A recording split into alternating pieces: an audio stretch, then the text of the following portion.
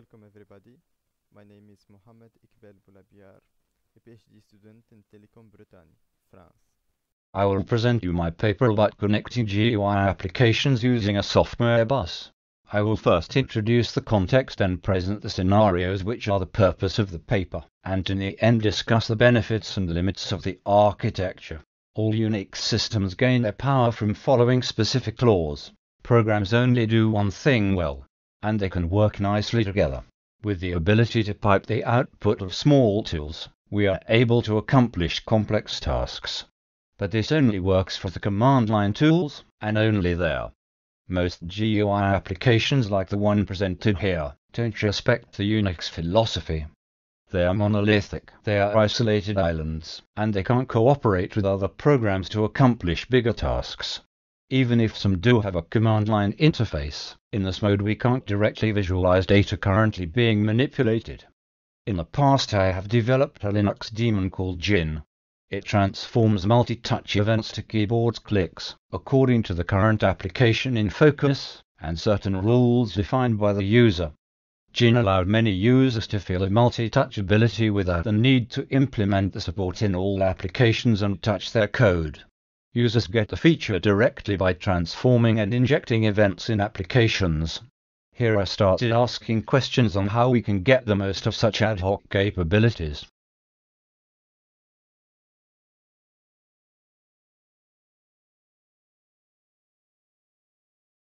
Instead of injecting keyboard and mouse clicks, I want to access more powerful functions like the application's internal methods.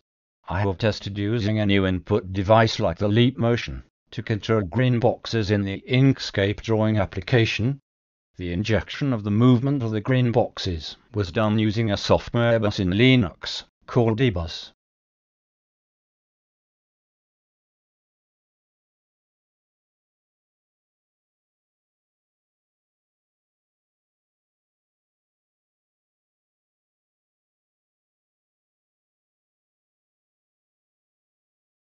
Dbus is an inter-process communication system.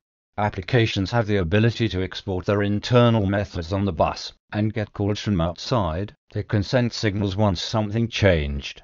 And they can have properties which can be described as global variables. Dbus is widely used in Linux system but for other purposes, and is being rewritten inside Linux kernel to make it able to handle even gigabytes of data quickly. Here is an example of an application exporting its internal methods on the bus. We can invoke them when needed, and we can see the effect directly on the application. In this example, after running the application Inkscape, I can search for its name in the dbus viewer. I can get a list of its exported methods. I can invoke methods to draw ellipses or other supported geometries.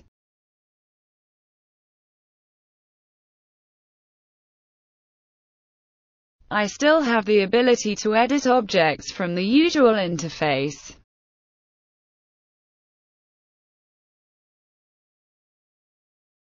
I can also subscribe to signals. When the user moves an object, I get a notification including the object name.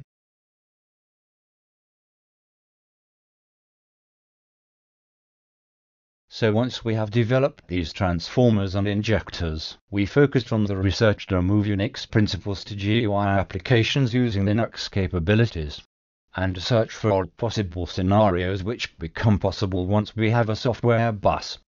Here we will start showing the five scenarios we have discussed and developed. We have targeted creative applications, and specifically the drawing application Inkscape.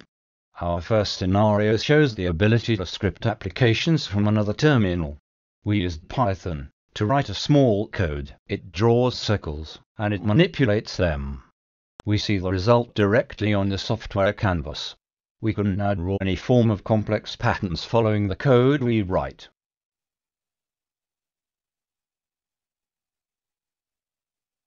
In this example, I opened Inkscape, and I have opened another command line terminal. I connected to dbus, then to the application. After that, I am able to invoke methods to draw elements.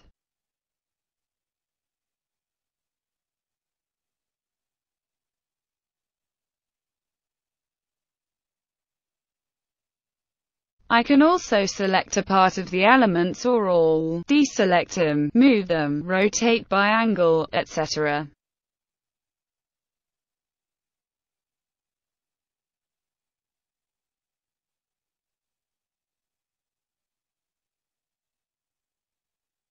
The modification can be done from many different terminals at once.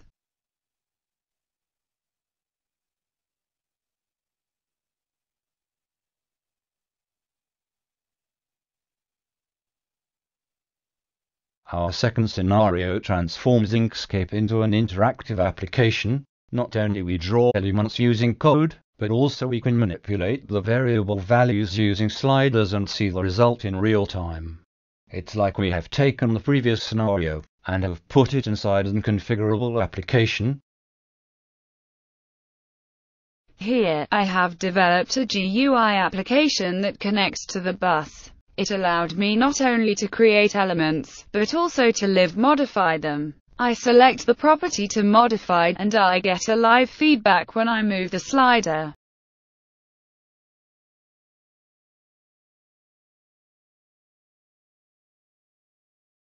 Of course, the communication can be optimized, which was not the goal of this prototype.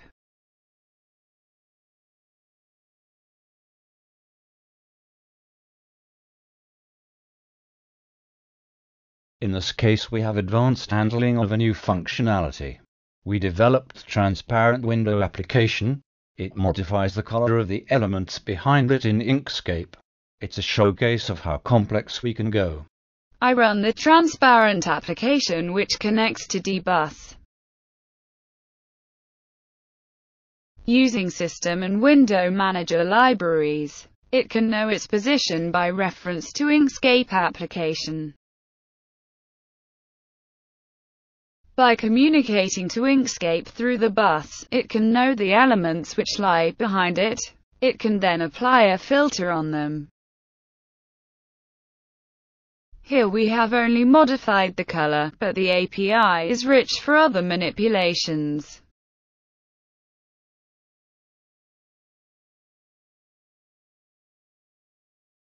There is no restrictions on the language used to connect and invoke methods. We use many different devices these days. And if we want to target all of them, we need to develop one application per device. Using a software bus, we can develop only one, remove the default interface of the application, and deploy it on all platforms. Then we add ad hoc interfaces depending on the platform. Ad hoc interfaces can be developed by a platform creator like Ubuntu. The original developers of the application won't even be asked to do any modifications, as ad hoc interfaces will show on top the canvas, and invoke methods by accessing the bus. In this scenario we imagine an application composer, by reference to Quartz Composer. This is the sort of a tool that can be developed by Linux distribution creators. It will parse all the available applications for functionalities and allow the user to link the output of one to the input of another. Very simple example is transforming a simple drawing application into an animation software. The composer changes the position of the elements inside Inkscape, export to an image each time, then in the end make a video out of the images. In this last scenario we discuss a new way to present application documentation. Tutorials generally comes either in video format, or in text with screenshots and where to click. In the two cases the user is obliged to switch between the tutorial and the application. He may easily lose focus. We present a method where he can get the documentation step by step, shown on top of the application. The advancement to the next line in the tutorial can be automated, as we have the signaling mechanism that can send a notification when the user accomplishes the current task, and so go to the next. Here is a diagram explaining tooltip placement and the communication. The old form of documentation, either textual or video, can still be generated by automating advancement and screenshot taking. As the interface can be put in an ad hoc way, the generation will take care of it automatically. From the presented scenarios, users have more power on what they can do with their applications. Developers can shrink development time and focus on ad hoc GUI elements depending on the platform. This is urgent as we have more and more of different devices and there is a problem on developing for all of them at once. On the other side, the limit of the work is that it's still in the explorative prototype level. It only shows the possibilities and more work is needed to provide durable solutions. Thanks for your attention. Please forgive me for not being able to come to the conference. You can reach me using mail or social networks if you have questions or remarks. I am very interested in pursuing this work in a more general way. I have provided a link to my slides.